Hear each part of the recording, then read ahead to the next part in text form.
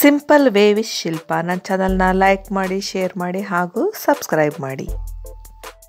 ಇವತ್ತು ನಾನು crystal clear ಮತ್ತು ಗ್ಲೋಯಿಂಗ್ ಸ್ಕಿನ್ ಮನೆ ಮಾಡ್ಕೊಳೋದಕ್ಕೆ ಮನೆಯಲ್ಲೇ ಹೇಗೆ ಫೇಸ್ ಪ್ಯಾಕ್ನ ರೆಡಿ ಮಾಡ್ಕೊಳ್ಳೋದು ಅಂತ ಹೇಳಿ ತೋರಿಸ್ತೀನಿ.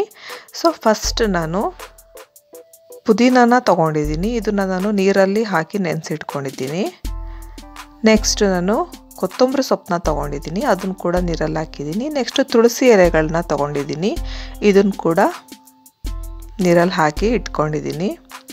ಬೇಕಂದರೆ ಇದಕ್ಕೆ ನೀವು ಬೇವಿನ ಬೇವಿನ ಸೊಪ್ಪನ್ನು ಆ್ಯಡ್ ಮಾಡ್ಕೊಬೋದು ಪಿಂಪಲ್ಸ್ ಇದ್ದರೆ ನೆಕ್ಸ್ಟ್ ನಾನು ಇದನ್ನೆಲ್ಲ ನೀಟಾಗಿ ವಾಶ್ ಮಾಡ್ಕೊಂಡಿದ್ದೀನಿ. ನೆಕ್ಸ್ಟು ಒಂದೊಂದಾಗೆ ಮಿಕ್ಸಿ ಜಾಡಿಗೆ ಹಾಕ್ತಾಯಿದ್ದೀನಿ ಈ ಮೂರು ಸೊಪ್ಪನ್ನು ಹಾಕ್ಕೊಳ್ತಾ ಇದ್ದೀನಿ ನಾನು. ನೆಕ್ಸ್ಟ್ ನಾನು ಒಂದು ದಾಸವಾಳ ಹೂವನ್ನು ಹಾಕ್ತಾ ಇದ್ದೀನಿ. ಇದು ಕೂಡ ಅಷ್ಟೇ. ಸ್ಕಿನ್ನು ಗ್ಲೋ ಆಗೋದಕ್ಕಾಗಲಿ ಅಥವಾ ತುಂಬ ಅಂದರೆ ನೈಸ್ ಆಗೋದಕ್ಕೆ ಹೆಲ್ಪ್ ಮಾಡುತ್ತೆ. ಗ್ಲಾಸ್ ಟೈಪ್ ಸ್ಕಿನ್ನಿಗೆ ಹೆಲ್ಪ್ ಮಾಡುತ್ತೆ. ಸೊ, ನೀರು ಹಾಕಿ ನಾನೀಗ ಪೇಸ್ಟ್ ಮಾಡಿ ಇಟ್ಕೊಂಡಿದ್ದೀನಿ. ಸೊ, ಇದನ್ನು ಒಂದು ಬೌಲಿಗೆ ಹಾಕ್ಕೊಳ್ತಾ ಇದ್ದೀನಿ. ಇದನ್ನು ನಾವು ಒನ್ ವೀಕ್ವರೆಗೆ ಸ್ಟೋರ್ ಮಾಡ್ಕೊಳ್ಬೋದು. ಒನ್ ವೀಕ್ವರೆಗೆ ಕಂಟಿನ್ಯೂಸ್ ಆಗಿ ಡೈಲಿ ಹಚ್ಚೋದ್ರಿಂದ ನಿಮಗೆ ಇದ್ರ ಎಫೆಕ್ಟ್ ಖಂಡಿತವಾಗ್ಲೂ ಹಂಡ್ರೆಡ್ ಪರ್ಸೆಂಟ್ ರಿಸಲ್ಟ್ ಸಿಗುತ್ತೆ. ನೆಕ್ಸ್ಟ್ ನಾನು ಬೇರೆ ಒಂದು ಬೌಲಿಗೆ ಕಡಲೆ ಹಿಟ್ಟನ್ನ ಹಾಕ್ಕೊಳ್ತಾ ಇದ್ದೀನಿ. ನೆಕ್ಸ್ಟು ಅರಿಶಿನ ಪುಡಿನ ಹಾಕ್ಕೊಳ್ತಾ ಇದ್ದೀನಿ.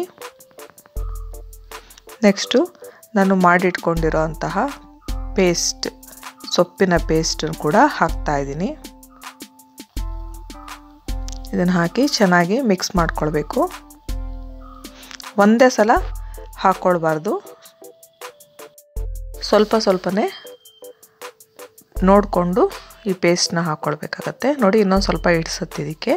ಸೊ ಹಾಗಾಗಿ ಇನ್ನೊಂದು ಸ್ಪೂನ್ನ ಹಾಕ್ಕೊಳ್ತಾ ಇದ್ದೀನಿ. ನೋಡಿ, ಈಗ ಈ ರೀತಿ ಫೇಸ್ ಪ್ಯಾಕ್ ರೆಡಿ ಆಗೋಯ್ತು. ತುಂಬ ಈಸಿ ಇದು. ಒಂದು ಸಲ ನಾವು ಆ ಥರ ಪೇಸ್ಟ್ ಮಾಡಿ ಇಟ್ಕೊಂಡ್ರೆ ಆರಾಮಾಗಿ ಯೂಸ್ ಮಾಡ್ಬೋದು. ನೆಕ್ಸ್ಟ್ ನಾನು ಬ್ರಷ್ ತೊಗೊಂಡಿದ್ದೀನಿ, ಹಸಿ ಹಾಲು ತೊಗೊಂಡಿದ್ದೀನಿ, ಕಾಟನ್ ಪ್ಯಾಡ್ ಮತ್ತು ಫೇಸ್ ಪ್ಯಾಕ್ ತೊಗೊಂಡಿದ್ದೀನಿ. ಫಸ್ಟ್ ನಾನು ಕಾಟನ್ ಪ್ಯಾಡ್ ತೊಗೊಂಡು ಹಸಿ ಹಾಲಿಂದ ನಾನು ಮುಖನ ಕ್ಲಿಯರ್ ಮಾಡ್ಕೊಳ್ಬೇಕು. ಸೊ ಮುಖದಲ್ಲಿರೋಂತಹ ಕೊಳೆ ಅಥವಾ ಏನಾದರೂ ಇದ್ದರೆ ಅದು ಸ್ಕಿನ್ನಿಂದ ಕ್ಲಿಯರ್ ಆಗುತ್ತೆ. ನೋಡಿ ನನ್ನ ಮುಖದಲ್ಲಿ ಸಣ್ಣ ಸಣ್ಣ ಗುಳ್ಳೆಗಳಿದೆ. ಸೊ ಆ ಕ್ಲಿಯರಿಗೋಸ್ಕರ ನಾನು ಫೇಸ್ ಪ್ಯಾಕ್ ಹಾಕ್ತಾ ಇರೋದು. ನೆಕ್ಸ್ಟು ನಾನು ಇದನ್ನು ಫೇಸ್ ಪ್ಯಾಕ್ ತೊಗೊಂಡಿದ್ದೀನಿ. ಬ್ರಷ್ಷಿನ ಹೆಲ್ಪಿಂದ ಹಾಕ್ಕೊಳ್ತಾ ಇದ್ದೀನಿ. ಬ್ರಷ್ ಇಲ್ಲ ಅಂದವರು ಕೈಯೇ ಯೂಸ್ ಮಾಡ್ಬೋದು. ತಿಕ್ ಲೇಯರ್ ಹಾಕ್ಕೊಳ್ಬೇಕಾಗತ್ತೆ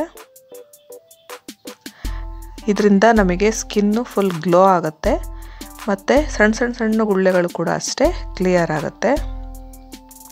ಇಷ್ಟೇ ಇದು, ನೀವು ಒನ್ ವೀಕ್ ಮಾಡಿ ನೋಡಿ ಎಷ್ಟು ಚೆನ್ನಾಗಿ ನಿಮಗೆ ರಿಸಲ್ಟ್ ಸಿಗುತ್ತೆ ಅಂತ ಹೇಳಿ.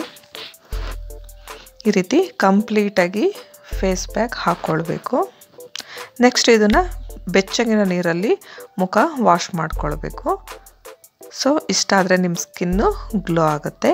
ನನ್ನ ವಿಡಿಯೋ ಇಷ್ಟ ಆದರೆ ಲೈಕ್ ಮಾಡಿ, ಶೇರ್ ಮಾಡಿ ಹಾಗೂ ಸಬ್ಸ್ಕ್ರೈಬ್ ಮಾಡಿ. Thank you friends.